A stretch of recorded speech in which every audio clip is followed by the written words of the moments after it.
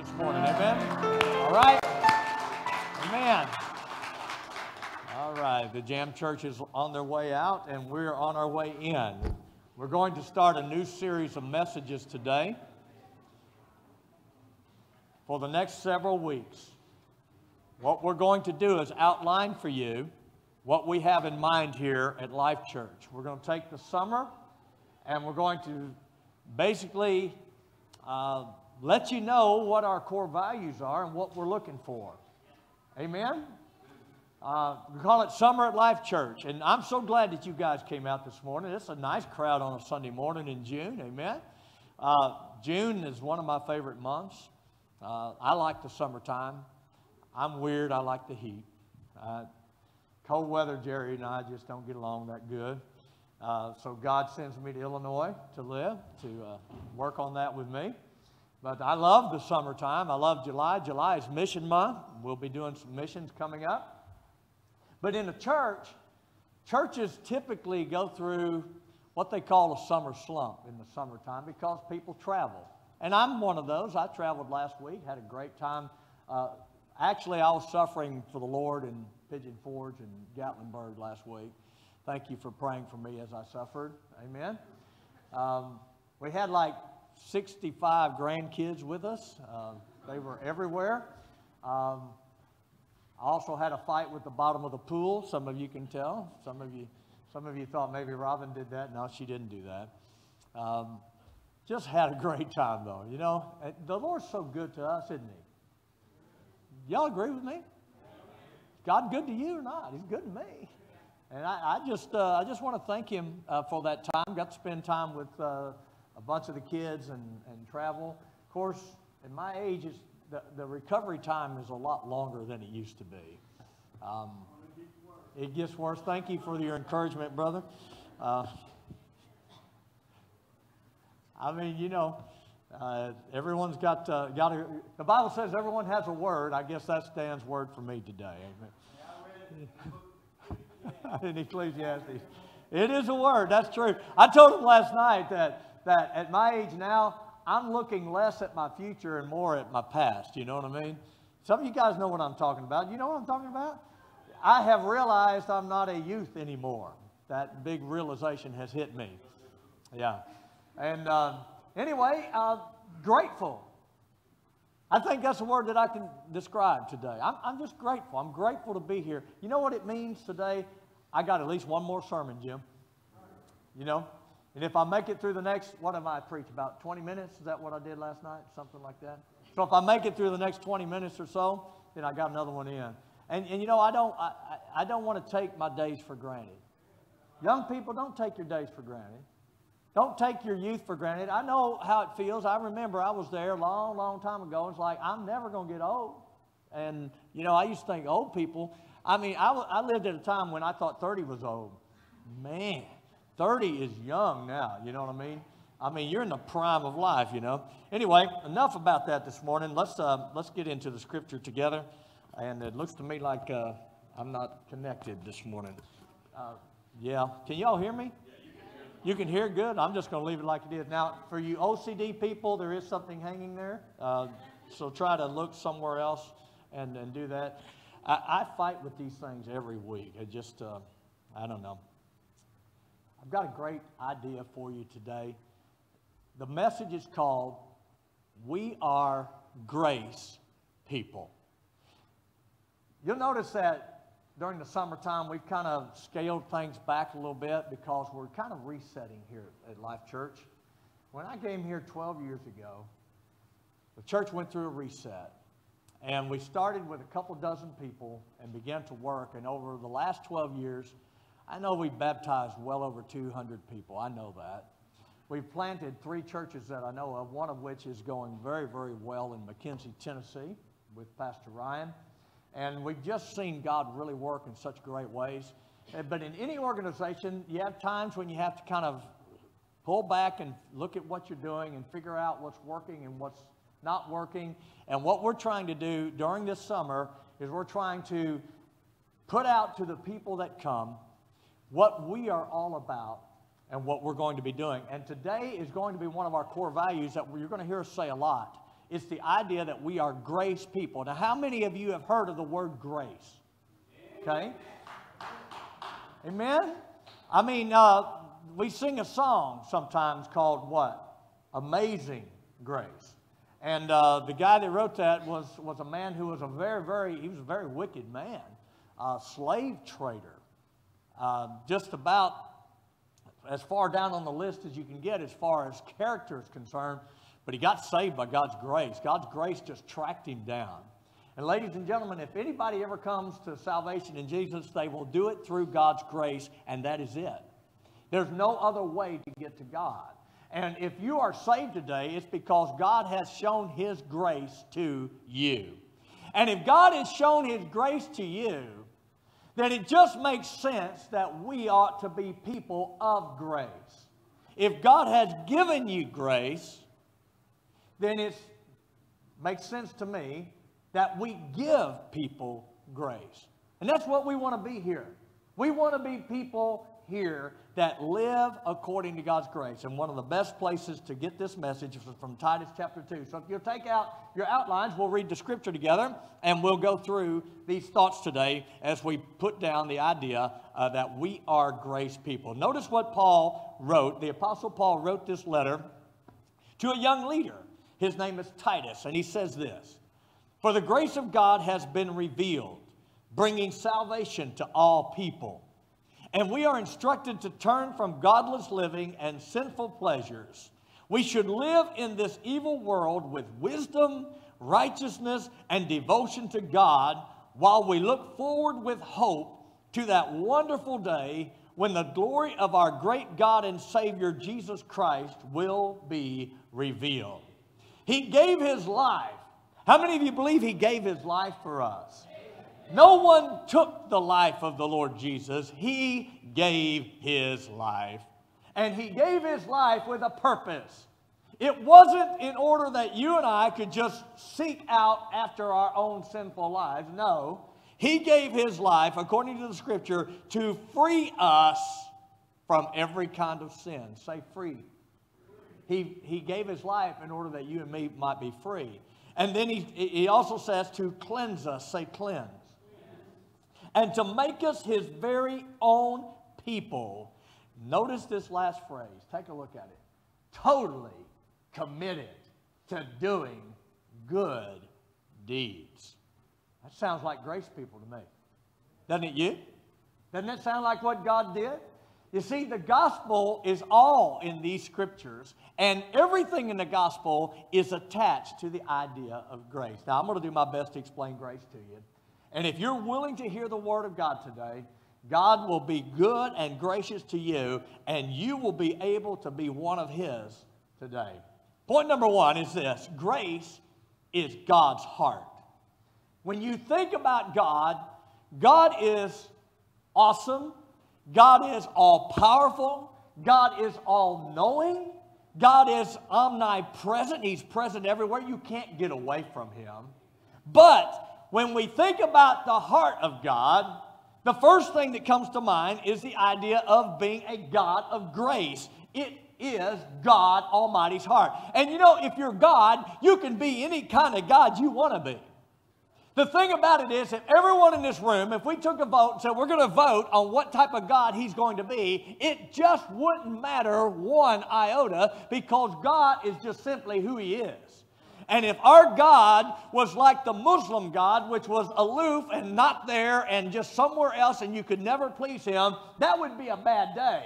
But our God is not like that God.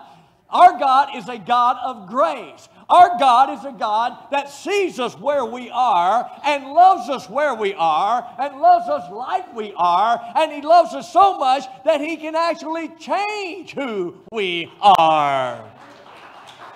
He's a God of grace.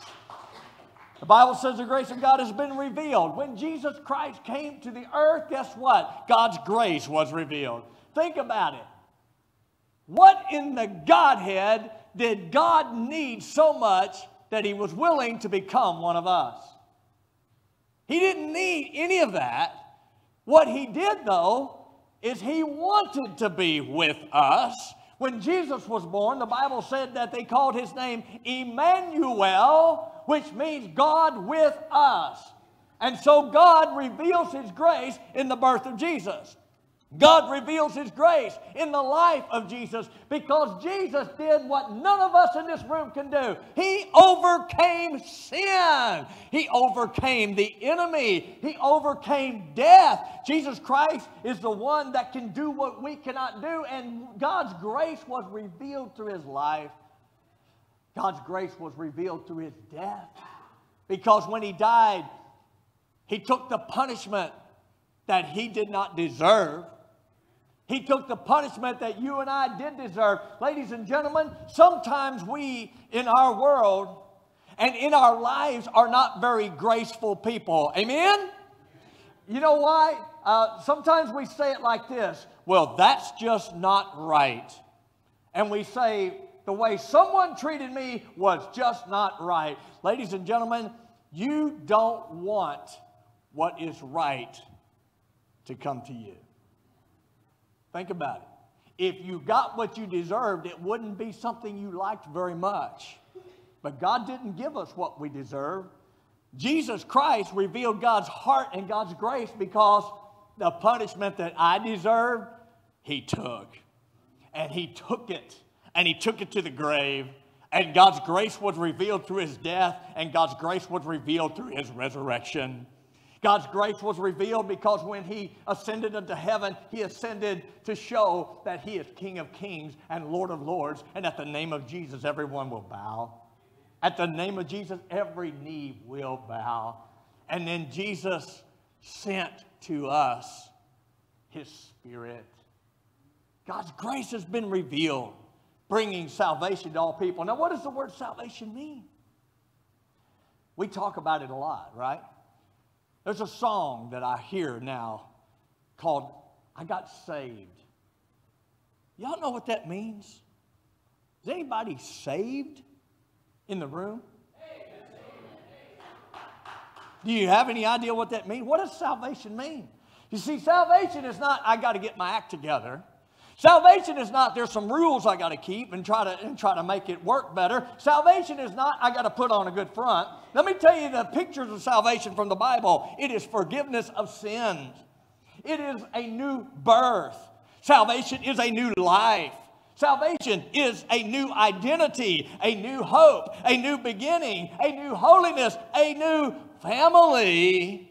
Salvation means something has been rescued and change. Look at the scripture from Romans chapter number six. The Bible says this very clear. He says, We have been buried with him through baptism into death, so that as Christ was raised from the dead through the glory of the Father, so we too might walk in what? Newness of life.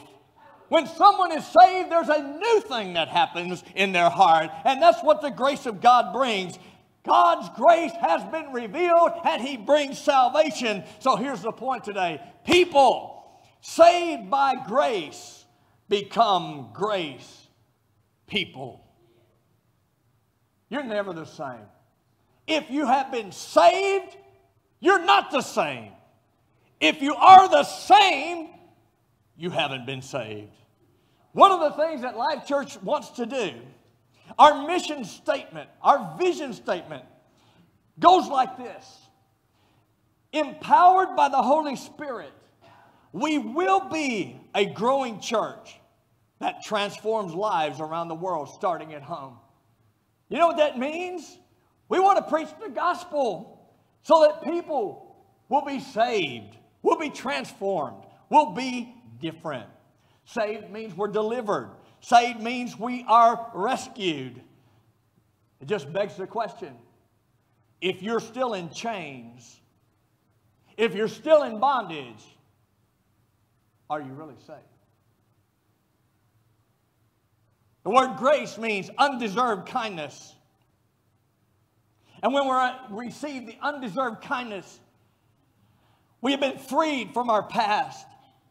We've been delivered from the power of our sin.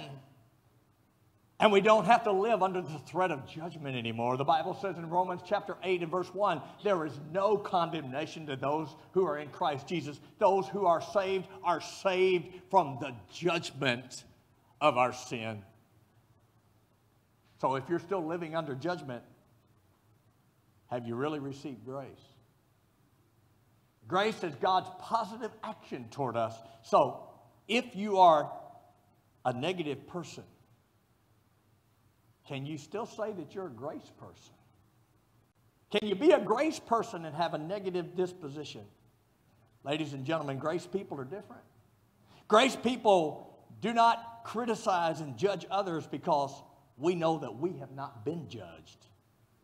Grace people are not negative people because we have been given something very positive. It's impossible to be saved, rescued, delivered, and live the same way. Grace is God's heart. Point number two grace is how we live.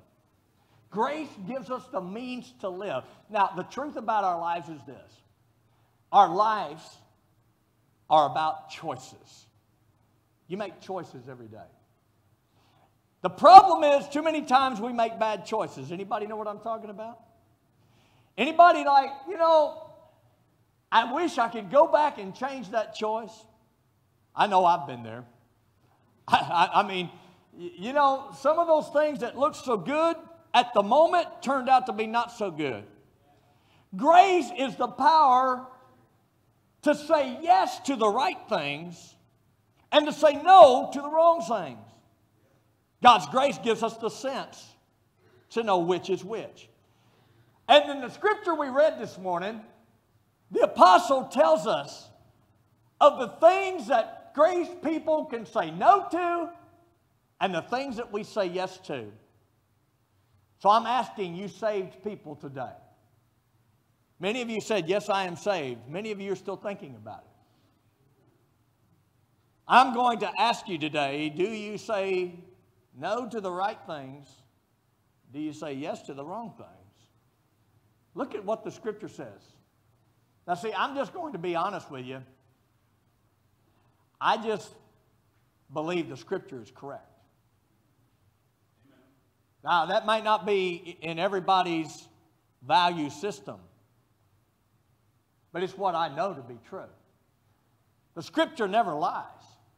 And when the scripture says this is how it is, this is how it is. So, Paul, what did you tell us today? First, we live because we say no to godless living. Did you notice that in the scripture text? We say no to godless living. What is godless living? Godless living is where we say that we will have no authority over us. We will live our life unrestricted by boundaries and the sole morality for what we do in our lives will be determined by us. In other words, what I'm going to do is what I want to do, and it doesn't matter what any authority figure tells me. That is godless living. The truth is, all godless living has at its heart a God that is really the God of the self, which is really not a God at all. You see, you, you will serve the God who is or you will serve the little God of the self. And when grace comes into someone's life, we have the power to say no to godless living. The Bible says in, in Psalm 14:1, only fools say in their hearts, There is no God. You might say, Well, I believe there's a God. The truth is, what you say needs to match what you do. If you live as if there is no God, you may as well say there's no God. And the Bible says that's foolish behavior. And says they are corrupt and their actions are evil and not one of them does good. Man, that's hard, isn't it? You see, this is not a thing about everyone do their own thing. Godless living is simply that. And the more our culture goes towards godless living, the more corrupt our culture gets. Truth is, godless living is death. You got that? Y'all realize that sin brings death? Does anybody know that today? You can say yes or, you know what I mean? I mean, it's okay to talk back a little bit, all right? Godless living is death, but grace people are alive. You see, if you live in a godless way, you're living in death. But if you live unto God, you have been made alive and you can say no to godless living. Second thing we say no to is we say no to sinful pleasures. Sinful pleasures. Does anybody have a, do I have to explain what that is? You shake your head this way or this way, okay? Do I have to explain to you this morning what sinful pleasures are? Sinful pleasures are the things that the enemy tempts you with on a regular basis. I can point to anyone in the room and tell you everyone in the room is tempted. And the Bible says we're all tempted when we're drawn away from our own desires. Desire for what? For sinful pleasures. Pleasures that God says no. Now, most people like having a good time, and I enjoy having a good time. But there are some pleasures that God says are sinful, and therefore, at the end of that pleasure is something called death. The flesh desires sinful pleasures, but the spirit says no. Can I ask you today? That ever happened to you? Have you ever just wanted something and the Spirit of God said no? And you had the ability to say no to something you really wanted? Listen, just because you want it doesn't mean it's right. Just because it feels good at the moment doesn't mean it's the right plan of action. In fact, if I can tell you this, particularly some of you younger folks, if you can get this in your head right now, understand something. Your feelings can lie to you. Your feelings can lead you down to the road of destruction that you could never imagine could happen. I've just seen way too many families broke up. I've seen way too many marriages been together for years and years and years, and all of a sudden some kind of thing came in, and the next thing you know, they're heading down the road to destruction. I'm so tired of that in our culture. Young people, when you get married, get married for the right reasons. Get married to do it. Get married to stay there. Amen. You might say, oh, well, you know, there's, there's something better out there. There's nothing better. There's only flawed people. Let me tell you, that Mr. Wonderful you're about to marry is a flawed guy. That Mrs. Person that you think has never done anything wrong, she has. And everybody you will ever meet in your life is flawed. But when we have grace in our life, we have the ability to say no to sinful pleasures. We have the ability to overcome things. And we have the ability to live out the life that God has called us to live. Proverbs 10 23 says this Doing wrong is fun for a fool, but living wisely brings pleasure to the sensible. Wow. You see, sometimes living for Christ gets the, there's the attitude that if you live for Christ, you live a very dull life, not according to the scripture. If you are a Christian and living a dull life, you're missing the best part of it. 1 Timothy 5 6 says this She who gives herself to wanton pleasure is dead even while she lives. 1 Peter 2.24 says, He personally carried our sins in His body on the cross so that we can be dead to sin and live for what is right. Do you see that? You see, you live for pleasure, you're dead. You live unto God. The Bible says you can be dead to sin. You know what that means? Sin doesn't have any power over you. You don't have to do wrong. You don't have to live in those chains. You can say no to those things. Look what Paul said in Romans 6:11. You should also consider yourselves to be dead to the power of sin and alive to God through Christ Jesus. We have the power to say no to the destructive in order to say yes to the better. And I want to say to you today that the Bible declares that being with Jesus is far better. It's far better than anything this world can provide. We say no to godless living. We can say no to sinful pleasures. We can say yes to the right stuff. We can say yes to wisdom. The Bible says in, in Proverbs 8:11, wisdom is more precious than rubies and nothing you desire can compare with her. Do you hear what the scripture says? Think about what you want in your life. Think about what's important in your life. There is nothing that can compare to wisdom. Nothing you can seek that's better than wisdom. And the Bible says that we can say yes to living in wisdom. Not only can we say yes to wisdom, but we can say yes to righteousness. What is righteousness anyway? What kind of a word is that? Well, there's the word called right in there. Let me ask you something. How many of you hate being wrong? How many of you really don't even admit when you're wrong? I mean, we struggle with that, don't we? So the idea of righteousness is that we live right. I want to tell you, there's a peace that comes with being right. There is a joy that comes with, with being right because when you're wrong, you're just wrong. And if you're living wrong, you're just living wrong.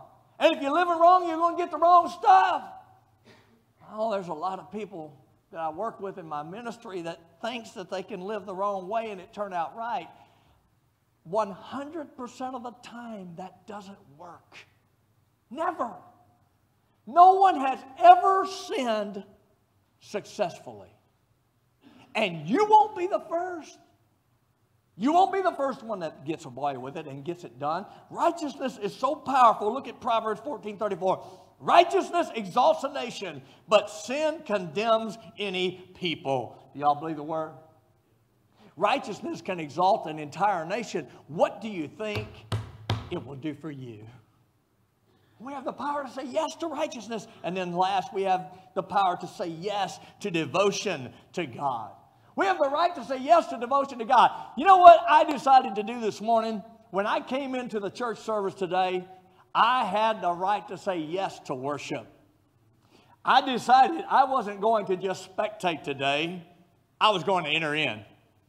And when we were singing the Revelation song, I just kind of pulled myself out and pulled myself in before the presence of God and just spent some time with the Lord. Just heard you guys singing, and it was just, it was one of those, the greatest experiences that you can know. See, worshiping God, spending time in God's presence, is far, far better than anything else you can desire. I'm a musician. I like music. Y'all like music? I like music. And from my day, we played it loud. My first band, when I was in high school, if you would describe my first band, it would be described in one word loud. We weren't even good, but we were loud. And in our heads, we were great. You know what I mean? And uh, over the years, I learned to play a little bit, learned a little bit about the volume control, turn it down a little bit so people can understand what you're doing. I did learn some of that. And I like music. Now, Tim and I had coffee yesterday, which is a godly activity. Amen? This guy up here is going like this. Would you guys pray that Dustin would get that right someday, you know? But anyway, we're having coffee and, and we're in the, all right, we're in the Dunkin' Donuts place, all right? But I promise I didn't do it. I, re- I really didn't. I just had coffee.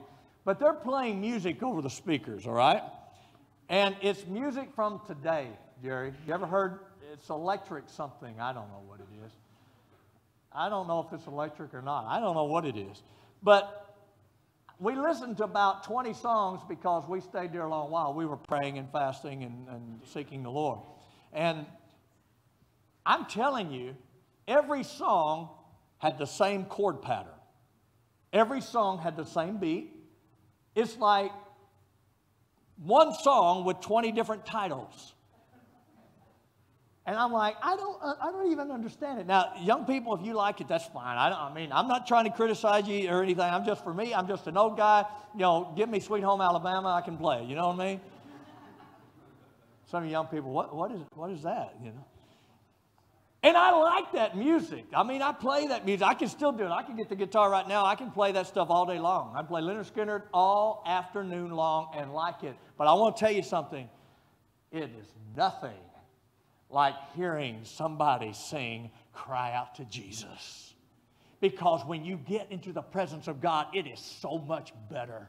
You see, I enjoy the mountains and I enjoy swimming and I enjoy ball games and I enjoy music, but there is nothing that moves my soul and my spirit like being where people are singing to the Most High God and His presence comes in and He reminds me that I'm His child and I belong to Him. That motivates me and I'd rather worship any day.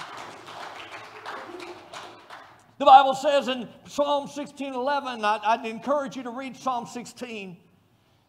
He says, You made known, you make known to me the path of life.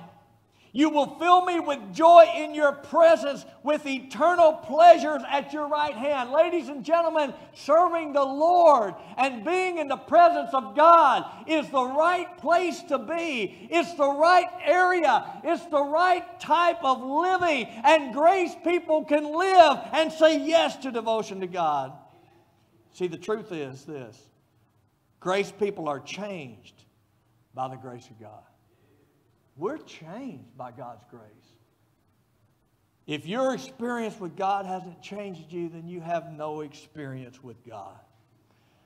Paul said he gave his life to free us from every kind of sin, to cleanse us, and to make us his very own people. We're different. Point number three grace gives us real hope. We have hope based on facts. We have hope that is not wishful thinking. We have hope that's based on the truth. The Bible says in Titus 2:13, while we look forward with hope to that wonderful day when the glory of our great God and Savior Jesus Christ will be revealed. Ladies and gentlemen, if you have received the grace of God, you have hope for the future. Look around at the world we live in now, and you take Jesus Christ and the church and the Holy Spirit of God out of the picture, and there is no hope whatsoever. But all you got to do is think about the fact is that there is a Jesus who is alive from the dead, and he's at the right hand of God the Father, and he's just waiting on the moment when the Father says, Go.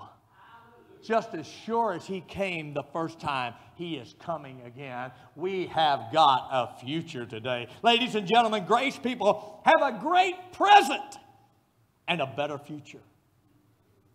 As good as life is now. And I want to tell you, life is full of struggles, life is full of difficulties, but life is good because God is in my life. And as good as it is now, it's only going to get better. If you're living for sinful pleasures, it is as good now as it will ever be. We have hope, and it's real. And then finally, point number four grace is our mission. Grace is our mission. We've received grace by faith, and that grace commissions us. Grace is our motivator. Ladies and gentlemen, grace people reach out to others with grace.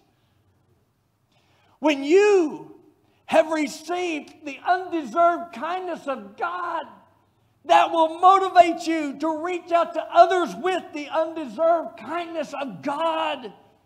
Grace people are not judgmental. Grace people are not negative. Grace people are not slanderers. Grace people are people who see others as people who are messed up, but there's a God who's bigger than their mess ups. Grace people don't look down upon people because they struggle. Grace people look at people as people created in the image of God and as people for whom Jesus Christ died. And Jesus Christ gives His Spirit and His church and His Word in order to free us. The Bible says He gave His life to free us from every kind of sin. I don't care what your problem is today, the power of Jesus Christ's death can free you of that sin. I don't care where you've been. I don't care how dirty your life has gotten. The power of Jesus Christ can cleanse you. And I don't care what you think about yourself and if the world has rejected you and the devil says you have no value. Jesus Christ came in order that you might be his very own sons and daughters. Totally committed to doing good deeds. Grace is our motivator. I'm saved, but I don't want to do anything in the kingdom of God. Not so. Because grace motivates us. And his own people are totally committed to doing the good things. We're grace people. We've been washed by the blood of Jesus. We've been declared not guilty. We've been given a new life. We've been given another chance, a second chance to live. Our chains have gone. We've been set free. Our God, our Savior, has rescued us.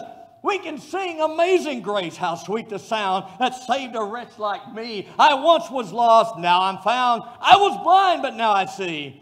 We have been given the gifts of the Spirit of God, the Word of God, and the Church of God. We share the gospel here and around the world, in this language, in other languages. We coach people to trust Jesus. Ladies and gentlemen, grace people can move mountains, walk on water, cast out demons, pray for the sick, and see them recover. We have been called to go into all the world and to preach the gospel to every person. We witness people repenting and changing and growing and discipling. We can see captives set free, chains broken, new creatures born.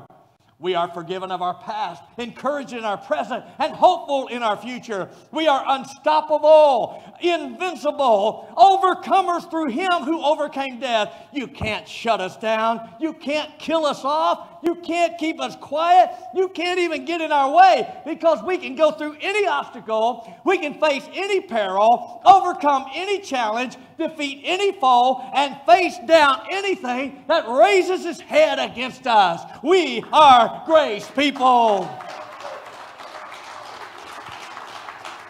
We live today.